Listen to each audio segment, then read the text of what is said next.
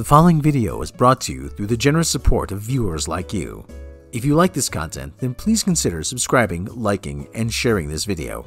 And for those who are in the position to donate, this channel thanks you. And so does this orange cat. Well, the numbers do not lie. G4, you're a loser. Loser.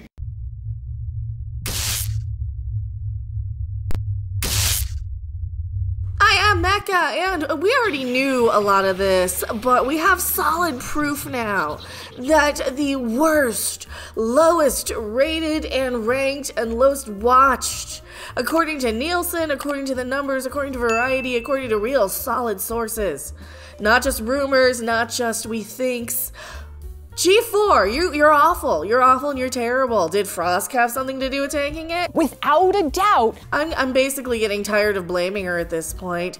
But, you know, she didn't help. They were doomed to fail from the beginning. Without a doubt. Many people have been saying that they were doomed to fail from the beginning because you don't need G4. We have a million people on YouTube who do exactly what G4 does. Not only that, we have a million more of them on Twitch who do exactly what G4 did and better. To, to begin to, to begin the article and better at that I should say they say the numbers don't lie and according to the year-end television ratings report from the Nielsen's Comcast quickly shuttered attempt Comcast's quickly shuttered attempt at reviving G4 was unsurprisingly an abysmal failure in terms of viewership. There's no hyperbole either.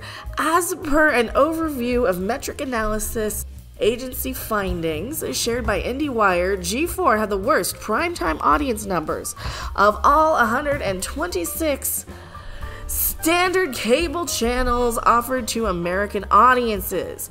How bad was G4's 2.0's last place finish? During its brief run from November, what was the last place? That's going to tell you something. This sucks. From November 21st to October 22nd, the ne- network managed to pull an average of only 1,000 viewers during the period of 8 p.m. to 11 p.m. every Monday through Friday because nobody knew where to find it. Is it the same content on Twitch, on Twitter, on YouTube, all at the same time?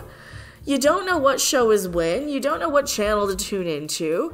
And if you're like me, you don't even have TV to begin with. So you're looking between like three or four YouTube channels because somebody decided, oh, we're going to split X Play off into its own thing. We're going to split, which they probably should have done in the first place, had all the X Play on one channel and then all the Attack of the. they, they didn't know what they were doing. They were trying to treat YouTube like a TV network. This sucks. Change it. And then halfway through that, they changed their mind. They did something else. Well, here we go. We have Variety's numbers. The winners are ESPN, the losers, G4.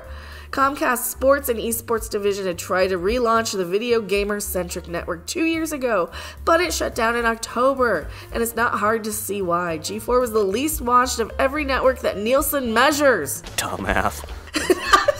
All of them and averaging a paltry 1,000 in prime time. This is according to Variety, too.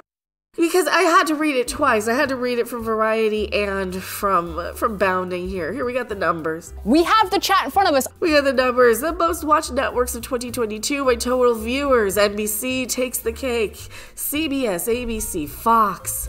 All of these. Zabu's got a Bali. Hello, Zabu. You got a Bali. Meow. There you go. Good boy. UniMás. UniMás did better. WE, the game show channel, did better. Syfy. Well, Syfy's got Resident Alien. That's one of my favorite shows this year.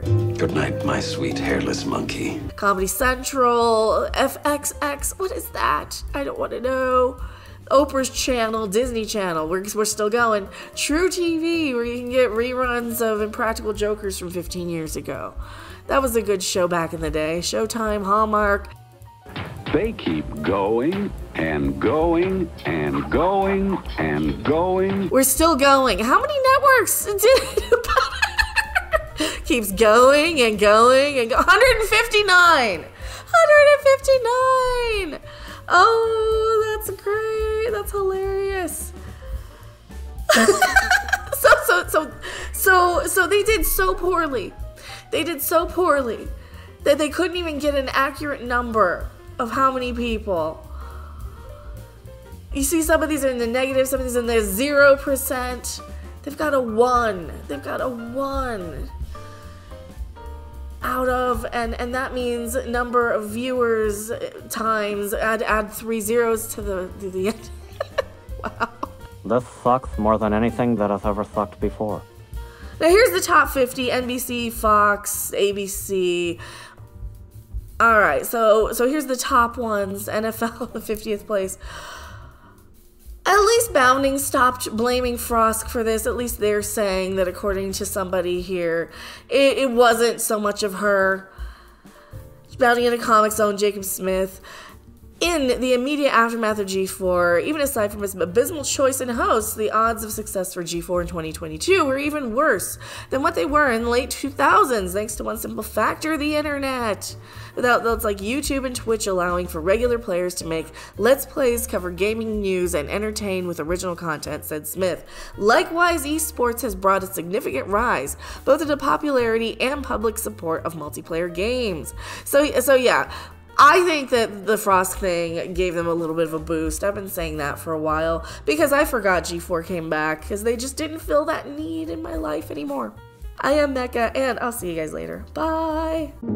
Thanks for watching. If you liked it, make sure to hit that like button. And if you want to see more, don't forget to subscribe. See you in the next video. Bye. If you don't like it, don't watch it. This sucks. Change it.